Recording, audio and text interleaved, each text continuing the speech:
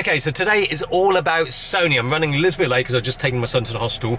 Just an appointment, nothing serious, okay? But I'm running late to the event, which is happening at the Polo Club. Never thought I'd say this in my entire life that I'm going to the Polo Club to watch polo. If any of you don't know what polo is, it's basically Quidditch on horses. Unfortunately, by the time I got to the event for the launch of two massive lenses, they were already packing up. Polo players gone. Almost.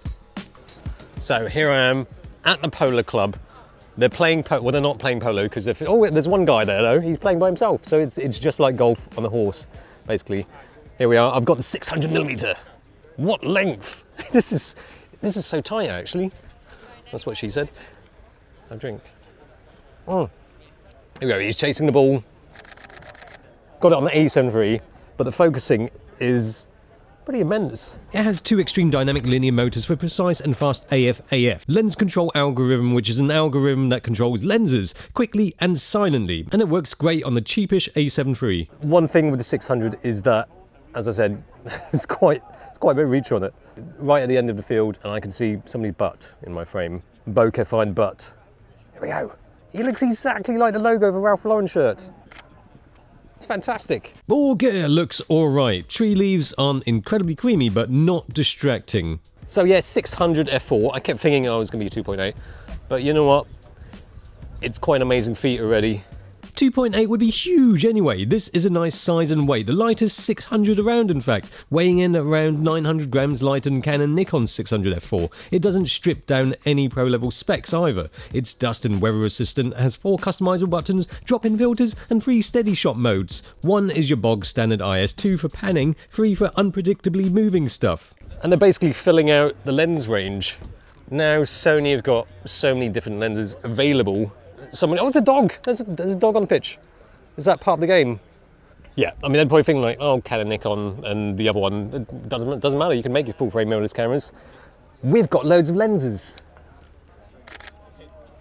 He's probably knackered. Well, he's probably not that tired. He's just riding a horse, isn't he? Oh, yes. Oh, skills. He's like the Neymar of the horse polo world without the rolling about, hopefully. Take that. That snaps into focus nicely. I mean, now it's almost like no question, especially after the new firmware update. The A9 is just getting better and better for sports and wildlife and action stuff. What else do you need? You need lenses like this. Boom. Here we go, here we go. Fast. For sure, with the A9, it's going to work wonders. It's already such a beast with this A7 III. In terms of the optics, for those who like numbers, you have 24 elements, 18 groups, 3 fluorite elements, not the stuff that helps prevent tooth decay, 1 XA element to help achieve better bokeh, 1 ED element for less aberrations, and shit, a nano crystal coating that has to be mentioned because it's so nanified you can't actually see it. And with all that, you'd assume image quality top notch, right? Those who don't like numbers, it's bloody brilliant. I've only got 24 megapixels to play with, but. pardon me. Pardon me. Price pre-Brexit price tag of 12,000 UK pounds, and that's it for the lens, mostly because the subject needed to eat some hay or whatever polo players eat. So yeah, that's it. I didn't really get to get hands-on with the 200 to 600. Is it 200, 600? There's one over there. They're all going now. They're all getting on the bus. But somebody's left one of these. They totally haven't realised that they've left me here with a 600 and a 200 600. Let me take this. With no Polo left, it was time to sneakily head off elsewhere to try this new 200 to 600 out.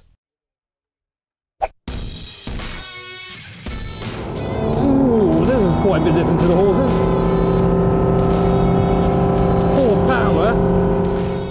On a boat, shooting a man tied to a plank with water and stuff. I think it's called waterboarding. Heard it's become popular again recently. This is a 200 to 600 f5.6 to 6.3. Max aperture isn't something to shout about, but the price is at £1,800. And you get this range, making it a versatile lens, but in a package that is just as robust and ready as the 600, with weather resistance and the free focus modes. I've got it on mode 3 by the way.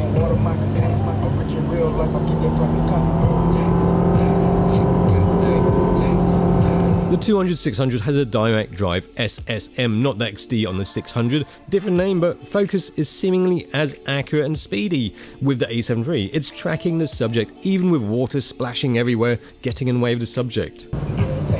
It's, it's times like this when you really realise just how good the face detector is.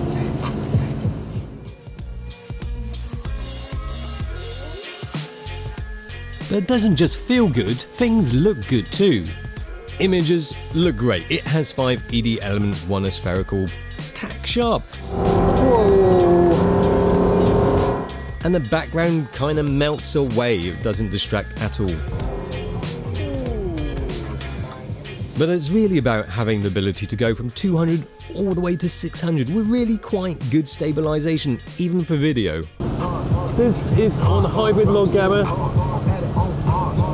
I can barely see, all I can see is water in a minute.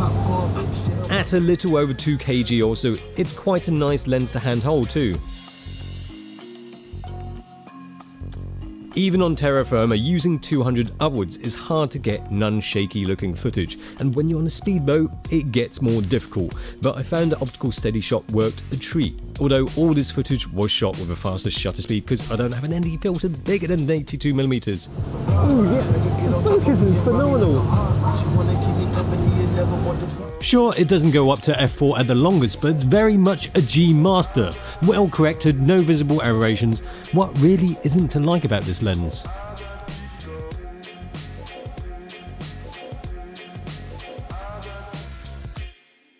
The 600mm f4 is going to be used a lot by pros and serious enthusiasts with deep pockets.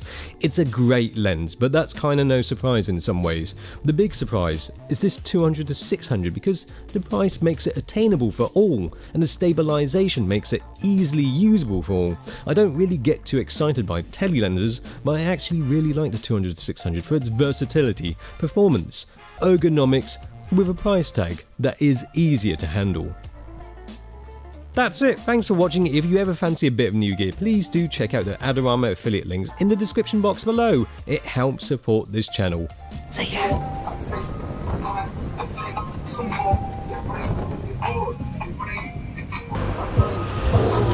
Whoa!